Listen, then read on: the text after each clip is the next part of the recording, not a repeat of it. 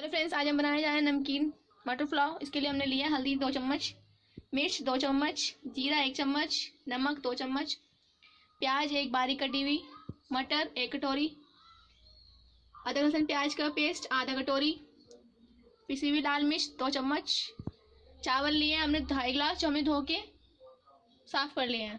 Friends बनाना शुरू करते हैं नमकीन मटर पुलाव हमने कढ़ाई ले ली है और उसमें हमने जो है दो चमचे करीब तेल गरम कर लिया हम उसमें डालेंगे जीरा।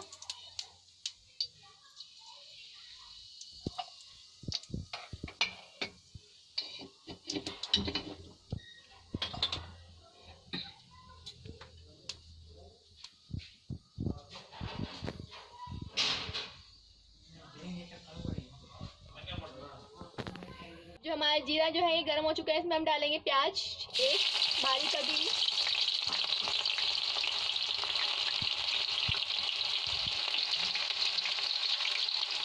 तो इसको प्याज को जो है हल्की गोल्डन होने तक भूनेंगे।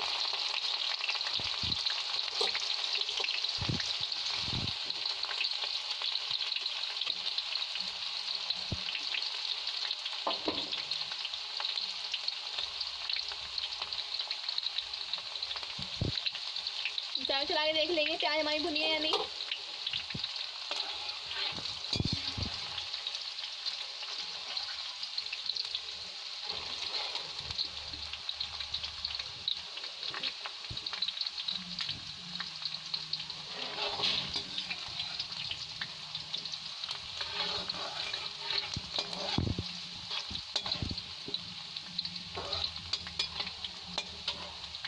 अब इसमें जो है अदरक लहसन प्याज का पेस्ट डाल देंगे आधा कटोरी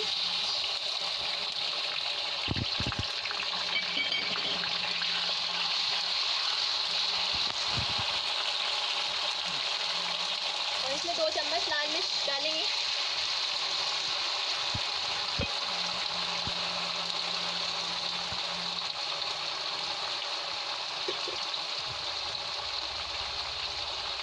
दो चम्मच लाल मिर्च पिसी हुई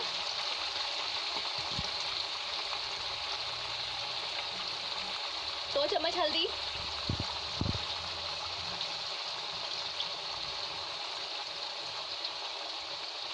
दो। चम्मच नमक।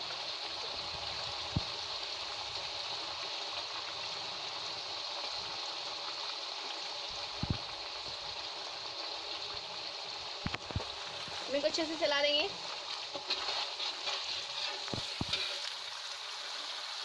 और इसमें हम थोड़ा सा पानी ऐड कर देंगे। पानी करीब हम आधा गिलास के करीब डालेंगे।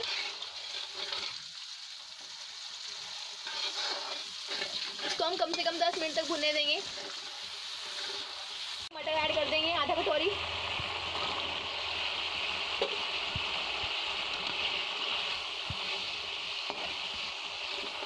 और हम करीब दस मिनट तक इसको भूनेंगे मसाले को, ताकि जो हमारी मटर है मसाले के साथ ही बन जाए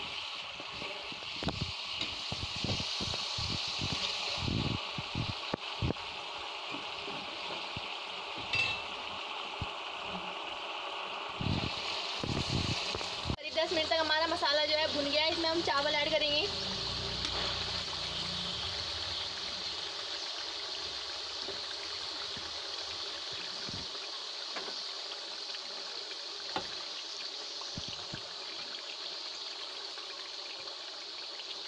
चावल अब इसमें ढाई गिलास डालेंगे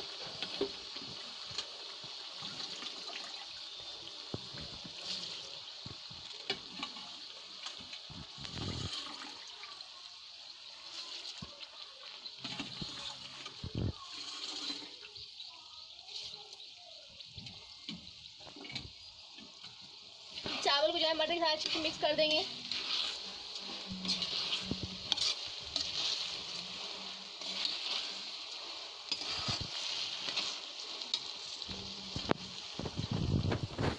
हम पाँच मिनट तक जो है चावल को मसाले के साथ अच्छे से भून लेंगे, ताकि जो हमारे चावल जो है वो मसाले के साथ अच्छे से भून जाए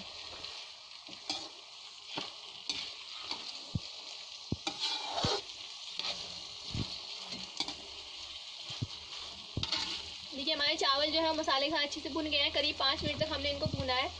अब ये हमारे ढाई गिलास चावल है, इसमें हम पानी ऐड करेंगे पाँच गिलास।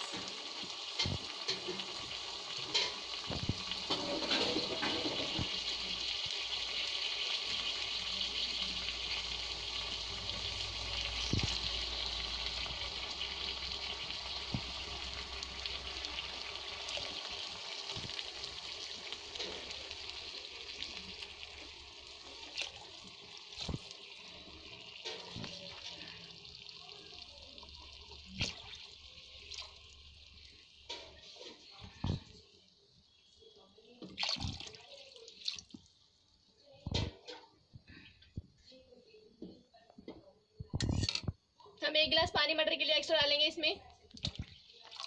देखिए, हमारी मटर भी हमने इसमें डाली है तो उसका भी पानी हमें इसमें डालना है। ये तो हमने ढाई गिलास चावल में पाँच गिलास पानी डाला है और एक गिलास हमने जो है, वो मटर का पानी डाला है। हम इसे अच्छे से मिक्स कर लेंगे और इसको ढक्कन लगा देंगे।